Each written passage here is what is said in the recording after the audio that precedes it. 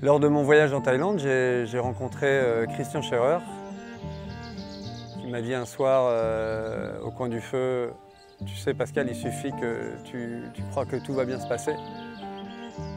Et en général, tout va bien se passer. Les problèmes qui arrivent au fur et à mesure, ils trouvent tous une solution. Donc ne pas lancer un projet parce que tu as peur, c'est souvent anticiper des problèmes pour lesquels tu trouveras de toute façon des solutions. Donc il faut y aller, il faut foncer.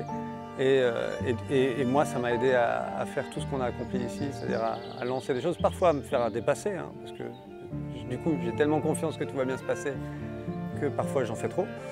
Mais, euh, mais, tout se passe bien, au final.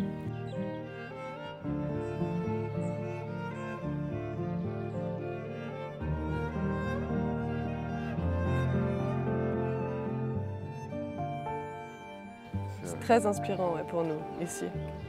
Oui, par exemple, que euh, si jamais on, réalise un jour un autre projet, en tout cas ça c'est une, super base euh, pour commencer à y réfléchir de façon plus concrète.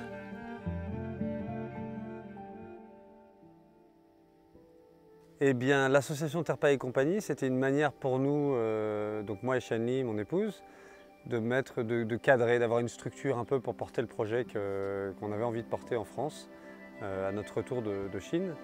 Et on avait envie de vivre ce que ben, moi j'avais vécu en Thaïlande quand j'ai découvert la permaculture, un endroit où, euh, on vivait euh, un petit peu en communauté, mais sous forme d'autogestion, où les gens venaient d'un peu partout dans le monde pour apprendre euh, les techniques de la construction naturelle et la permaculture. Et moi, j'avoue que ça a été une, expérience transformative très importante dans ma vie. Et je me suis toujours dit, j'ai envie de vivre ça, j'ai envie de continuer à le vivre, et peut-être pas de manière continue, mais de manière répétitive, de manière à avoir toujours à, reprendre contact avec cette sensation que j'ai eue euh, dans cette, dans cette expérience-là. Et donc on avait besoin d'une structure un peu institutionnelle et l'association, c'était parfait, qui s'est appelée Terpa et compagnie parce qu'en fait elle est arrivée un petit peu en cours sur le chantier. Au moment où on faisait euh, une technique de construction qu'on appelle le terpaille léger, où tout le monde criait en apportant la, matière prête à être coffrée et à être bourrée dans un coffrage, euh, en criant terpaille euh, dans la maison et on levait des seaux et tout le monde s'excitait, se mettait en branle à ce moment-là. Et donc c'est resté le, le, terpaille, les terpailleux et puis l'association s'est appelée Terpaille et compagnie.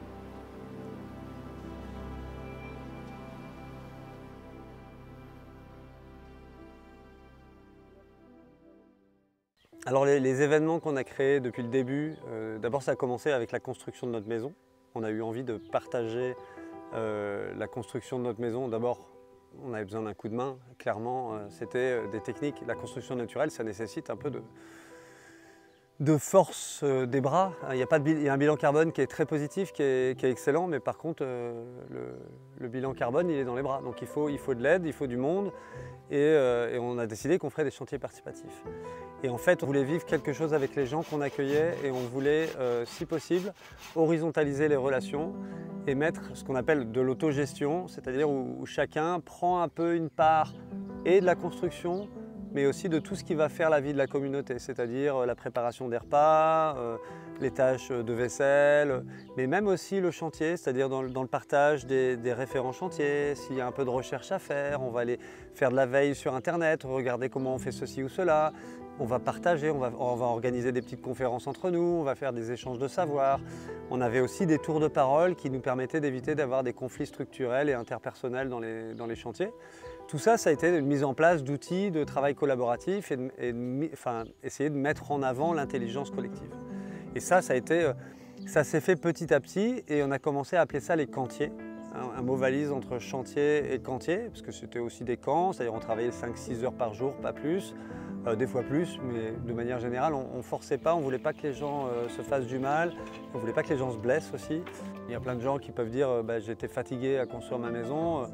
Bah, nous, on a eu de l'aide d'abord et on a vécu une expérience humaine incroyable. Et les gens qui sont passés par là, je pense, peuvent en dire autant et en témoigneront d'autant. Et ça, ça a, été, ça a été une découverte. Et d'ailleurs, tu allais bien que sur trois ans où on a construit la maison, on a les mêmes personnes qui revenaient et qui ne revenaient pas pour deux semaines, qui revenaient pour passer les deux mois de chantier à la maison pendant trois ans. Les gens venaient, restaient et ne repartaient pas. Et ça, c'est plutôt un bon signe. C'est signe que ce qu'on voulait vivre avec eux euh, a marché et ça a tissé des liens très forts. Euh, et, en fait, pour moi, ce qui fait qu'un groupe est solide, c'est quand on arrive à sublimer les intérêts personnels et collectifs par une tâche collective. C'est un chantier qui, transcende le groupe. Et ce qui transcendait le groupe, c'était que tous ensemble, on allait construire une belle maison naturelle avec des matériaux naturels et nos petites menottes, quoi. Et faire des belles choses, ce qu'on a fait.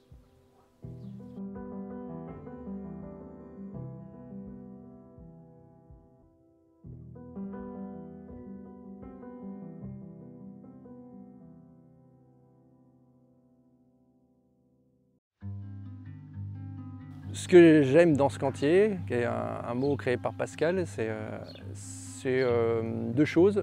La découverte du lieu, qui est quand même assez fabuleux euh, pour illustrer ce que ça peut donner la permaculture. Et puis les, rencontres.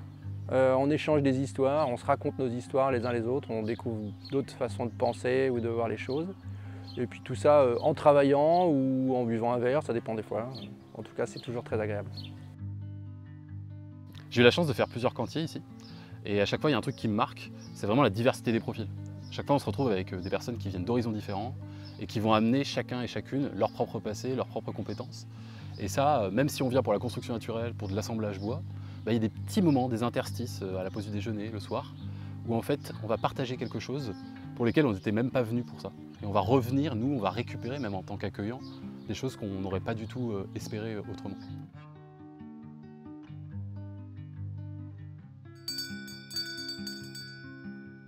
Alors on essaye d'organiser le cantier avec différentes phases. On, commence le matin en se levant, on se retrouve pour faire une réunion euh, collective où là on va déterminer, euh, d'abord on va assurer que les tâches collectives soient, gérées. Donc la, vaisselle, la cuisine, etc. On va faire un grand tableau euh, dans lequel on va marquer l'équipe feu, l'équipe eau, l'équipe terre, etc. Et on va répartir les tâches pour que ça se soit géré.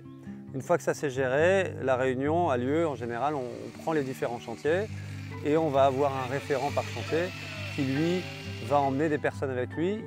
En général, il va détenir le savoir, c'est-à-dire que cette personne va être capable de transmettre euh, la technique de construction, soit terre-paille, soit du torchis, soit un enduit de finition en terre, soit de l'assemblage bois, etc. Et on s'assure qu'il y ait le savoir, il y ait la maîtrise des outils aussi. Si les gens savent pas se servir des outils, il va y avoir une formation sur la maîtrise des outils. Et puis on va, euh, ils vont aller sur, un chantier pendant deux heures et demie euh, euh, la matinée et puis l'après-midi. En général, on va essayer de faire en sorte que ça dure au moins une journée sur un chantier. Sauf les chantiers un peu difficiles comme l'extraction de la terre. Donc quand on va miner de la terre pour, bah, pour, les chantiers, la, terre argileuse dont on a besoin pour construire, on va essayer de faire en sorte, comme c'est très physique, que ça ne dure pas plus de deux heures. Et puis après, on va se retrouver, on essaye d'être synchrone sur les heures de repas. Donc ça, la ponctualité, pour nous, c'est un élément essentiel du succès d'une aventure collective. On va se retrouver aux heures de repas vers midi et demi, on va manger, et puis on va reprendre à 14h30 parce qu'on va se laisser le temps aussi de se détendre, de jouer, euh, de se poser dans le hamac, de faire une sieste, de digérer, de jouer aussi, pas mal quand même. Et puis on va travailler l'après-midi, puis on va arriver vers 17h30, on va ranger les outils, 18h, bah, s'il fait vraiment très chaud, ce qui arrivait très souvent quand même sur les périodes de chantier, on va aller à la rivière, on va jouer au palais, on va jouer à la pétanque, on va boire, on va boire des coups ensemble. Et ensuite, on va se retrouver au repas aussi à nouveau. Et puis en général, nous, on laisse euh, libre champ aux activités du soir. Donc ça, c'est pareil, c'est proposé. Il y a des gens qui veulent proposer euh, de la musique, il y a des gens qui vont proposer une conférence sur tel ou tel sujet. On a des fois des, soignants, des masseurs. Euh, tout ça, tout, est arrivé, on a tout vu sur, euh, sur le chantier.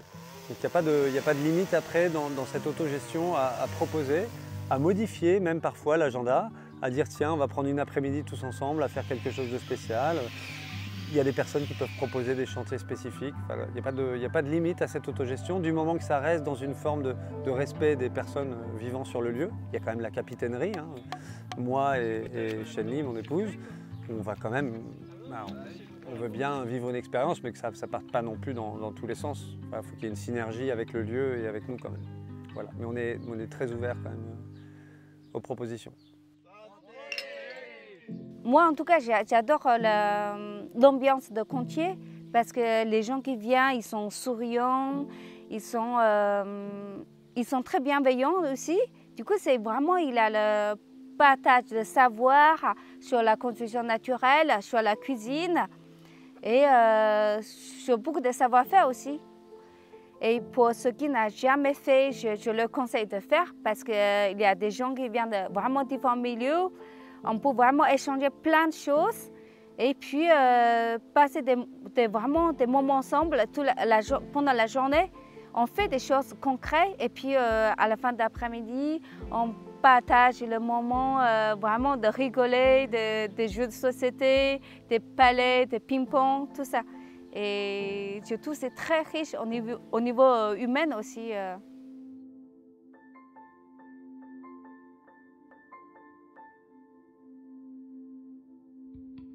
Ce que je retiendrai de ce quartier, c'est le lieu. Parce que euh, dans ce lieu règne une harmonie qui a été élaborée euh, depuis euh, plus de 15 ans par Pascal Etchenli euh, sur les techniques du design de, permaculture, qui offre à tous ceux qui passent ici bah, une envie de, vivre dans un lieu pareil, une envie de faire, une envie de, se lancer, une envie de- d'essayer. Et euh, on est là pour ça, pour apprendre des choses, apprendre des techniques. Là, c'est terre-paille, mais euh, j'ai aussi envie de me lancer dans euh, le design, la mise en place, la production. C'est ça que je retiendrai de ce cantier, le lieu. La construction naturelle, pour moi, c'est un aspect de la permaculture. C'est la, partie habitat. C'est ce qui va nous permettre de nous loger.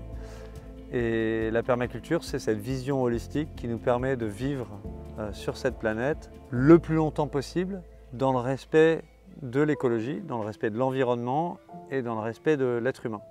Et donc là-dedans, il y a euh, bah, comment je vis, euh, comment j'habite la planète, donc quel est l'habitat que je vais avoir. Et là, pour moi, l'évidence, c'est la construction naturelle et bioclimatique, c'est-à-dire celle qui a le moins d'impact sur l'environnement. Euh, je creuse un trou, je fais une mare, et avec la terre que je sors de cette mare, je fais une maison, et je vis confortablement dans un endroit sain, non polluant. Mais la permaculture, c'est ce qui va englober tout ça et qui va nous permettre d'aménager le paysage pour répondre à nos besoins dans le respect de la nature et dans le respect de l'être humain. Et donc l'aménagement du paysage, ça veut dire euh, de quelles ressources j'ai besoin, comment je vais les chercher, à quel endroit, euh, comment ne pas les épuiser, comment s'assurer qu'il y en ait pour mes enfants. Tout ça, ça va être euh, la permaculture. Alors je vais donner une définition un peu rapide mais un peu aussi poétique. C'est un aménagement consciencieux du paysage qui imite les processus de la nature pour répondre à nos besoins locaux en termes de fibres, en termes d'énergie et en termes de nourriture. Et c'est une, une définition de Graham Bell, qui n'est pas l'inventeur du téléphone, mais qui est un permaculteur euh, anglais. Et moi, j'aurais tendance à le dire un peu différemment. J'aurais tendance à dire la manière dont on peut vivre sur cette planète sans taper dans le patrimoine de nos enfants.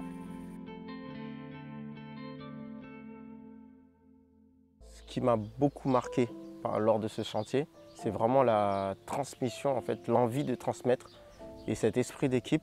Et euh, je trouve qu'il s'est fait avec amour. Et ça, ça m'a frappé. Et euh, j'espère vraiment pouvoir, de mon côté, en tout cas euh, autour de moi, véhiculer cette pensée. Ce que j'ai vraiment apprécié durant ce cantier, c'est vraiment la manière de transmettre de Pascal Echenli.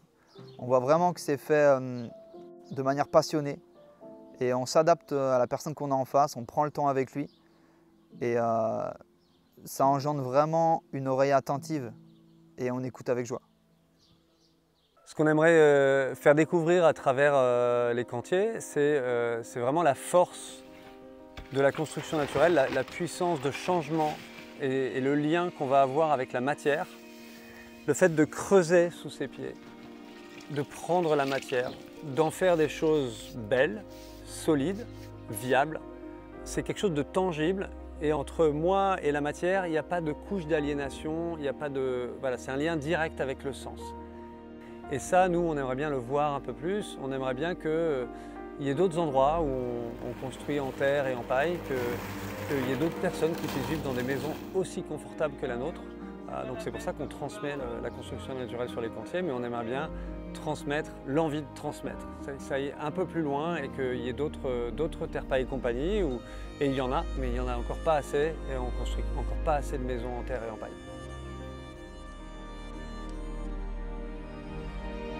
Alors on a un petit slogan ici qui est, important pour nous et qui définit aussi la manière dont les gens interagissent entre eux, entre eux, mais aussi avec la terre et avec les éléments entre eux. C'est soit ici et partout, comme si tu y étais pour toujours.